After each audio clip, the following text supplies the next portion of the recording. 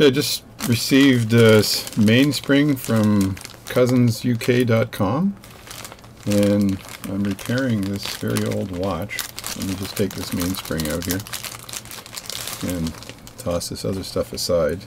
I'm making this video today just to show you what I do when I wait for a couple weeks to get the mainspring. So this came in a container that looks pretty locked up. There we go. There's the container. It's actually in nice condition. There's the mainspring. So the original mainspring on this pocket watch, this is for a friend of mine. Um, this is the original mainspring for the pocket watch. Uh, it's it's got a really interesting end to it. A little hook on the end here, so I'm probably going to have to. Let me just put that up here and see if it can zoom in at all. I think this camera needs fixing. You can see that hook there in my old fingers. Geez, my fingers look old under camera. Wow! Anyway, that hook, I believe I need to make a hook like that with the mainspring I just, uh, spring I just purchased in order to hook it into the inside of the barrel because the barrel has a notch in it that you use. Let's see if I can take the barrel out. lower my seat here a bit. And I also have to change my glasses so this works better. There's the barrel. So if you look carefully at this, I'm going to switch glasses for a second. Apologize. Uh, pair of tweezers over here so I can deal with this. There we go. So there's the barrel and and you can see there's, there's a small hole there and that's where the, um, the mainspring fits right in that little hole where the hook is. Um, again I apologize if this camera doesn't focus well but I'll just go anyway. I'll just keep going. Anyway that's where the, the, the barrel, that's where this hook hooks into the barrel. So I'm going to unwind that main the mainspring I just received and see if it in fact has a hook. So now you can some people take a mainspring and they pluck it right into the watch right? Basically they they they um they take the mainspring and they just put it into the barrel and and uh, and then they put this on top and push it all in. It all works right? Well I want to make sure that mainspring is the right mainspring first of all before I try to fart with it too much and uh, screw the whole thing up. It's interesting this thing's in aluminum foil. It's like I'm receiving uh, drugs from uh, the cartel. And uh, it's like Breaking Bad. Watchmaker needs more money so he decides to cook drugs for the cartel instead of making watches. I don't think anybody would, anybody would uh, watch that movie. it's kind of a stupid stupid theme for the movie. Okay, there it is there. I'm looking at the edge here on this side here and I don't believe that's gonna work um, but in general I, I, measured the right size and strength of the mainspring so the width should be the right width and and the um, the strength should be the right strength which ends up being the thickness of that mainspring and the length should be around the same length and I can see on the inside the arbor thing is cut right? So that's good. So I'm just going to take this mainspring outside of the uh, coil very carefully. And I'll do like I do in a barrel where I just grab it and then release it slowly like so. Just grab it and keep hanging on to it and then walk it walk it out slowly. And you should wear protective glasses or something while you're doing this so it doesn't damage your eyes. And because it, it can snap up and hit you in the eye so you got to watch it. So there we go. So there's the mainspring uncoiled. And if I look at the the end part so all I have on the end part is a hole. So I couldn't get the mainspring with an end part that looked like like this. It also looks pretty wide should be the right width though, because I measured it correctly. Yeah, it's the right width, it just looks wider. So that's just put that against the other mainspring and make sure the width is right, and it is. So I have to develop some kind of a hook that hooks into the barrel and looking at the barrel here and what I have here I do have some options I believe I can try to fold the mainspring over and then and then fashion something on the end of this here to hook that in um, I'm not sure another way of doing it is I can is I can punch out I can punch the barrel out to leave a little hook on the barrel itself and then use that as the hook and just forget this hole altogether. And that might be what I do because I don't think I've got any other way of doing this. Even if I fold this this uh, mainspring over once and I heat it up and fold it over once to make to make a hook, I'd have to trim it first, I believe. So I'd have to cut it here trim it down to an to an edge um, then I'd have to uh, figure out how to how to make the uh, hook that it wouldn't stick out of the barrel so I don't know if that's possible. So I think my best option here is to uh, figure out a way of either punching the mainspring barrel to make a hook to hook into this end here. Or another option is, is I take a uh, screw like a watchmaker screw and I screw that into the barrel. Um, a very small screw screw it into the barrel and then file the end of the screw down after I've done that and maybe solder it so that the hole is there. So I'm going to go away and think about this. It's going to be some pretty deep thinking going on. Hey part two. So I think I can actually use the hook on the end of the old mainspring set that inside of the groove, the opening of the new mainspring, and I believe there's enough room once that hook is there to catch the edge of that barrel. So I'm going to try that first. And so this won't even be attached. It'll sort of be sitting there. So in order to do that, I just have to snap this hook off and leave a little bit of spring remaining but I got to make sure when I snap the hook off that I uh, it doesn't go flying somewhere so what I'll do is I'll take the hook and I'll snap it off inside this bag like this. And that way it's lined up properly like that. I got to apply a lot of pressure I think to snap that hook off. Let me just line this up again here so I don't screw it up. And again, when you do these videos and you try to do them with, uh, you're basically trying to do the video the same time you're, same time you're working. It's not easy. It's not easy, folks.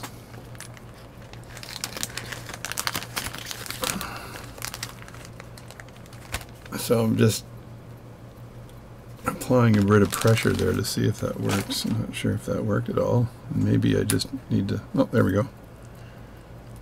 So it's off. I'll just drop that down. And now, look, at that little hook here, and that would go inside the barrel like this, or inside the mainspring here like that. And it leaves just enough hook there to, to hook the inside of the barrel. So what I'm going to try to do is just reel it into the barrel carefully. So I hate videotaping while I'm doing this, but I might move the camera around here so you can see it a little bit better. So just move the camera here and try to put this in the barrel without killing myself. The other problem I have here is I think that hook is higher. So it might snag that opening higher, which could cause a whole other issue. Don't know. Not sure. Gonna try though. Too fat to fly. Yeah, that opening is a lot higher. So maybe the original... The hook looks like in this, it's in the center though. So I am confused I am confused. So if that goes in like that, and I have this, you watch me fumble around here while I try to get that in. This is not going to be an easy thing to do. Because I got to bend that mainspring the same time I've got to put the hook in there. Which is a challenge. I almost lost the whole thing there. Anyway, to I'm going to turn this off for a second while I fart around with it so you don't have to watch me try to do this, but I'm going to do it by hand. So I think I have this thing hooked in here, but I'm, and I'm winding the spring in by hand, which is uh, not sure if it's recommended or not because I don't have the gloves on and that kind of stuff. So the so this is an old pocket watch. I'm not too concerned with it, but normally I wouldn't do this. So and you know what? I think this is backwards. Because after I wind this in, it should be like that, not the other way. Shit, gotta turn it around the other way. There, I'll videotape the last few seconds of me winding it in the other way. And then I'll try to show you what I did with the hook, and hopefully this works, because I don't know. I kind of transplanted the hook from the other watch or the other spring to this spring and I'm not sure if that transplant will work or not. The thing I'm worried about the most, there's a spring in there now. The thing I am worried about the most here is, there we go, and there's, there's where the hook is, right there. And it is hooked to the barrel. And if you look on this side here, you'll see that, uh, there is a better angle You'll see I got it snugged again, so it's the spring itself holding that hook against the barrel.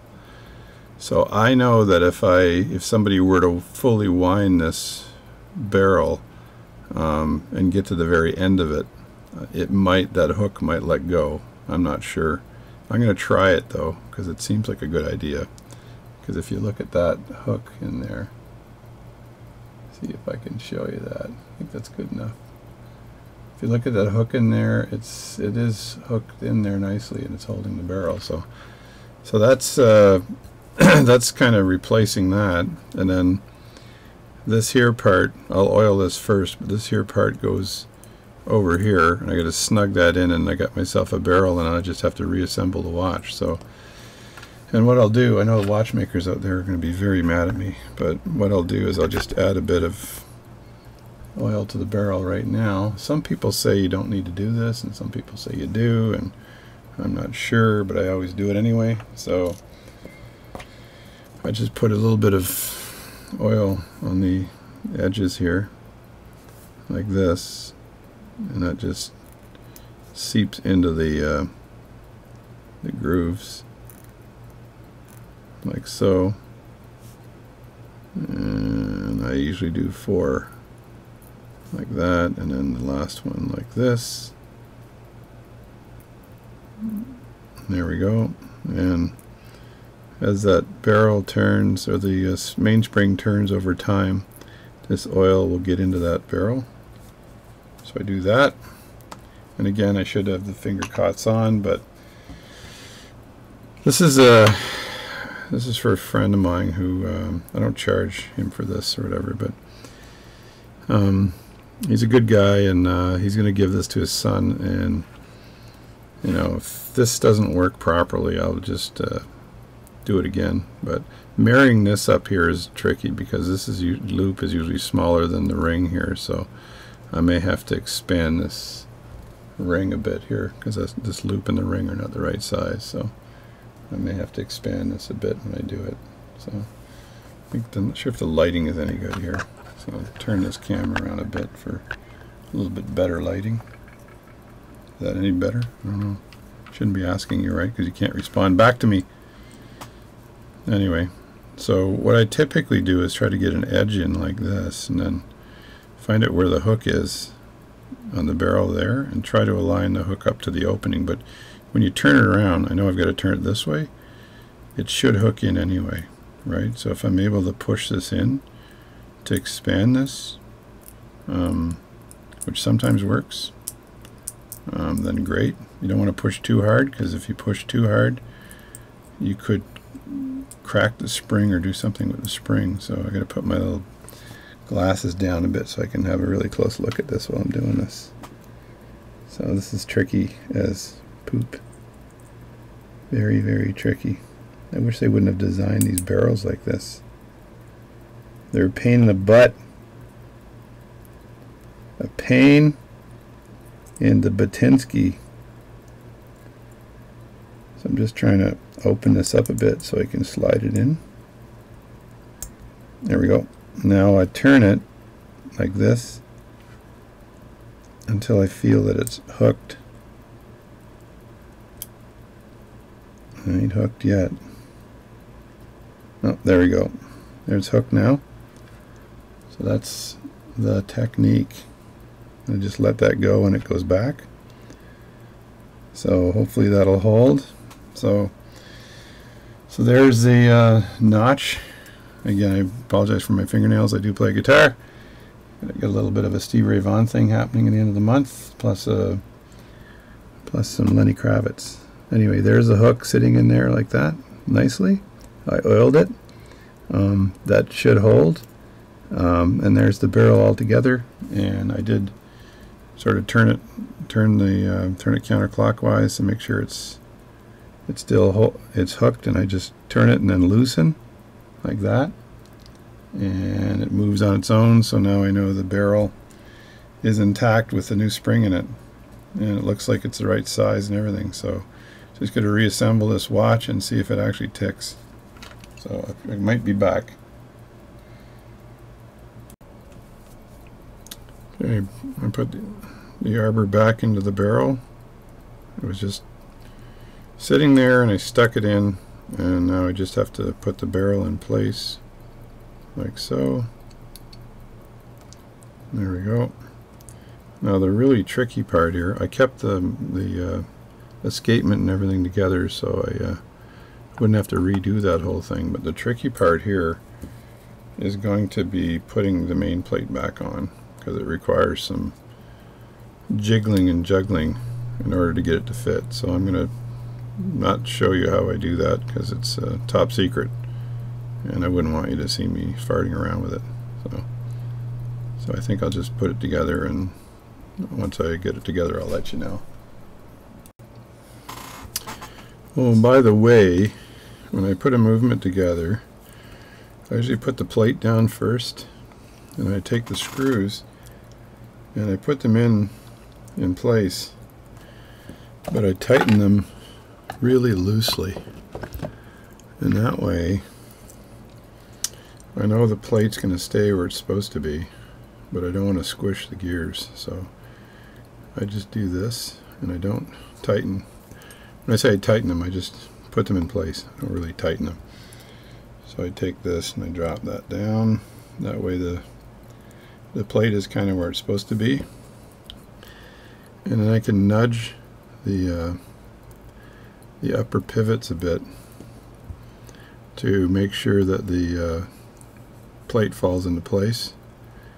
And then once I nudge it the right amount and I think the pivots are in place, I examine each one of those pivot holes carefully to make sure that uh, I'm not wrong and I don't have a, uh, a major issue with the pivots because if I if I do and I'm going to break one of the pivots off that is not good. So I usually do that and I'll and, and I've got so you can see space here it's like plenty of space space here and just enough plates the, the plate floating just enough I'm going to loosen this one up a little bit here floating just enough to be able to uh, having fun uh, just be, to be able to lift it and move it and that kind of stuff. And usually when it clunks into place it clunks into place. You can kind of feel it. So I'm going to just fart around with it with I use this I got this in a hobby a hobby store. And I just use that to nudge the uh, the wheels around until the, the pivots on the top of each wheel fall into place. I know my mainspring is in place and my keyless mechanism is all in place And once I get that in and screwed down, I'm going to put on the ratchet, the uh, wheels on top here, and then wind it up and see if the thing will work for me. So I'll be back. Alright, so I got the watch together again by nudging everything. Nudge, nudge, nudge. And then test it, I just pushed the main wheel here, the center wheel here, just a bit to see if the thing actually spins. I wait till it comes back and then I go like that and there we go, it's working. And so I know the actual, the thing works. And all I need to do then is put back the ratchet wheel here, line that up properly.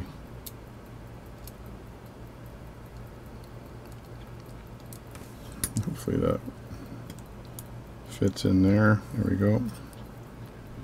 And put the screw in place. I think I can hear my wife in the other room doing all kinds of stuff. Bam, bam, smash, boom. So there we go, that's in place.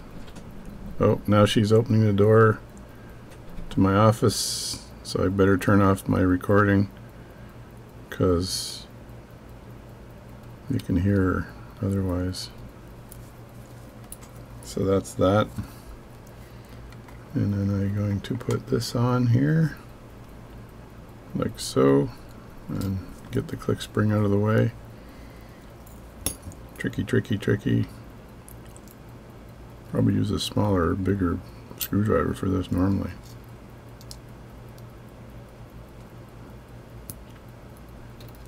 There we go. It's in there. I just want to wind this up and see if the new mainspring was going to catch and work or am I going to have to take it all apart again and start over which I hate doing. But you got to get it right so sometimes you just have to start over. I'm not can't remember which way the screws turn. Okay.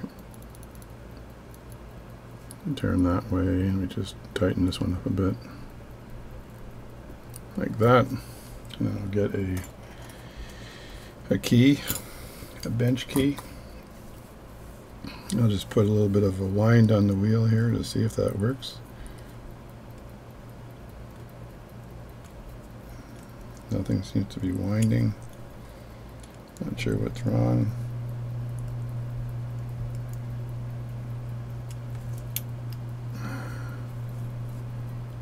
I'll just turn that around for a second and see if everything is in place.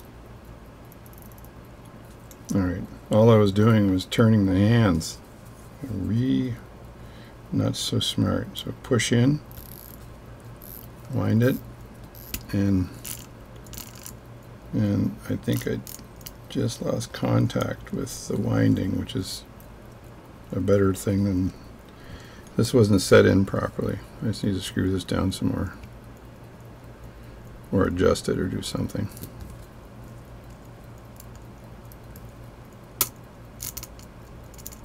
That's weird.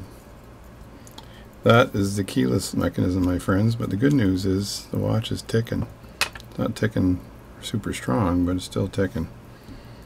And if the watch is ticking, then the then I'm a clicking. Not sure if that's Steve Ray Vaughan or what. What I don't want to do is strip anything here, so I have to make sure that this is actually turning the ratchet on the top. It looks like there's an looks like there's an issue here, so I'm gonna have to address that issue. I'll be back. All right, I found the issue. Um, it was me and a whole lot of stupidity. So what happened was I uh, actually didn't screw the plate screw in, and I was so happy and enamored by the fact that this uh, movement is working that I forgot to turn the plate screw in. So I'm winding it up now. And I'm not going to wind it past a certain point. There we go. And there it is working. So Actually looks like it's got a pretty decent amplitude too. I'm not sure what it is yet, but it looks pretty good. Is that going to focus? There we go. So there it is. So I just put a new mainspring on it, gave it a ton of power. I still have to put some oil on all the pivots and stuff, but look at her go. So that was a completely repaired American Waltham pocket watch. It's not of great uh, value, the, uh, the movement, but it's working like a charm. So that spring is holding, which is kind of neat, and the little fix. And you, you really uh, always have to think way out of side of the box when you're trying to fix a pocket watch, especially something vintage, because there's something wrong here. You just it's one of many different mechanisms that could be wrong. It could be a broken tooth. It could be anything. So you got to make sure that you check everything.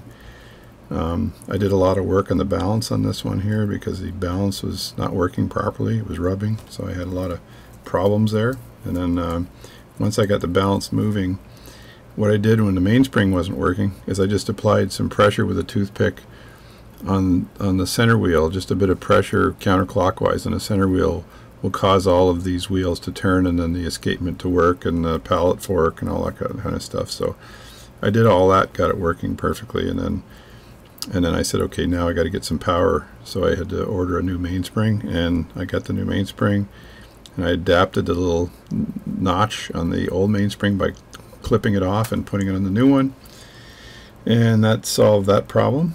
And so now all I got to do is is reassemble the uh, the movement and then uh, time it and make sure it's working properly. So I'll come back when it's completely finished. There it is in the case now and it's uh, ticking nicely. I still have to regulate it and take perhaps take a few dents out of the case but it's got some character. I put the hands back on, spun them around, and they're working well. Second hand's working well. Second hand was a little loose, I think, when I pushed it in, so I may have to uh, tighten that up a bit.